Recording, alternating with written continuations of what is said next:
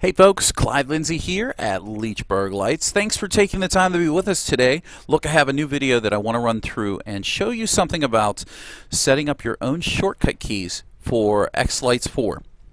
So, uh, what I'm going to do is I'm going to go into my example folder here and show you that there is a significant number of preset key bindings or shortcut keys that are already installed in X-Lights. And if you don't know about this, just go into your uh, your sequence uh, folder, your, your directed folder where your sequencers are saved in, and look for your XML uh, xlights underscore key bindings file.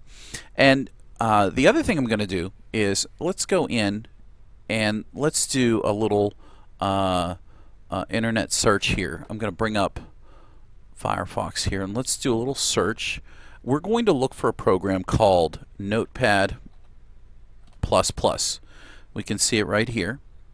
And what Notepad++ is, is it's a, uh, Notepad is a program where you can edit text documents such as an XML document. And Notepad actually is a little bit more user-friendly and viewable or format-friendly than Notepad is because it shows up, and you'll see what I mean whenever I open it up uh, in the open up the actual XML document. It'll make it look nice and neat and easy for you to edit. So go ahead and go to the go to the official site, download Notepad. It's a free program, and uh, let's get on with it. So we'll close out of here, and uh, since I've already installed this program, what I'm going to do is I'm going to hover over and right-click on the key bindings file, and we're going to edit with Notepad++. Now it opened up on this screen here and you'll see this is kind of zoomed in a little bit so you can see a little better.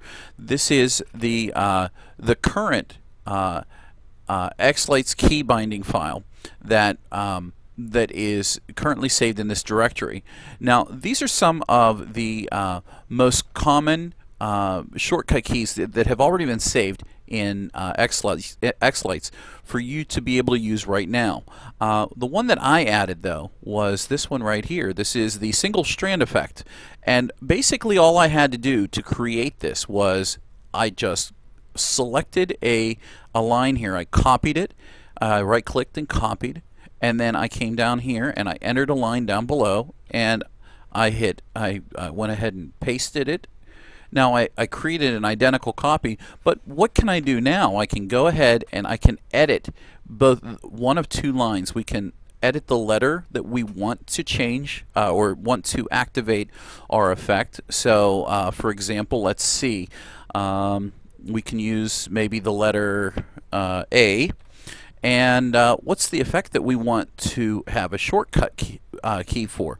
Well, I selected single strand and I went ahead and added that into the uh, folder. And uh, we'll go ahead and open up X-Lights just for a quick second so you can see some of the different effects and what they're named as. Um, when you do go into here, um, you all you need to do is we can open a sequence and it will allow us to hover over top or you can just come over to the effects setting and look at the drop down so uh, there's a lot of things that already have the shortcut keys but there's some things that don't have shortcut keys. Um, there's garlands uh, life lightning. I don't think lightning actually has a shortcut key. So maybe we'll want to create a shortcut key for lightning. So uh, let's go back into our uh, XML document. Do we have a shortcut key for Lightning? No, we don't. So why don't we go ahead and add one. Before we do, before we edit this XML document, let's just go back in and close out of X-Lights. Uh, make sure your spelling's right too. So let's go to Lightning and have a look at the spelling. L-I-G-H-T-N-I-N-G. I know we're not all brilliant. We have to look and cheat sometimes. And uh, we'll just go in here and we'll spell it out. So, L-I-G-H-T-N-I-N-G. There we go. It looks like we've edited the document. We'll go ahead and click Save. And we'll close out of the uh, Notepad++. And if we refresh our screen here, we'll see that today is uh, October 27, 2016, and it is 1.34 in the afternoon and that's when the file was updated. So now let's go back in to our X-Lights folder or X-Lights uh, program. Make sure that we are connected to this directory where we have the example. I think it's uh, it's located right on the desktop, and that would be this folder right here. And we'll go ahead and we'll open up the the uh, sequence that we're working on.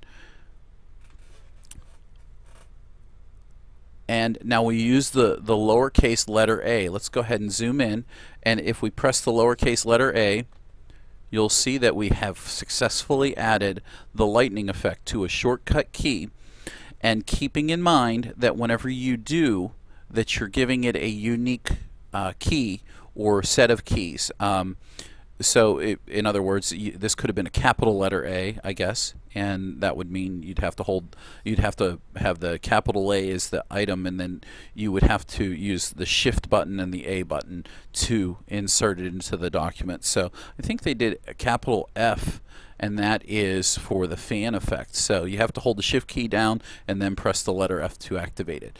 So there's a uh, very short video on how to edit your uh, key bindings document that is located in your Xlights directory. You can do this on your own. This is very quick, very simple. Um, and uh, once again, that that Xlights uh, or the uh, the uh, Notepad++ editor is uh, uh, an amazing thing to have because sometimes an XML document can become corrupted and looking into your own sequence file looking using this uh, program notepad++ is uh, is kind of helpful to kind of find uh, errors that are listed in your sequence. So um, guys, I hope you enjoy the video. Let me know what you think. Uh, if you have any questions, feel free to leave them down below in the comments section. Thanks, take care, and have a great 2016 season. We'll see you soon. Bye.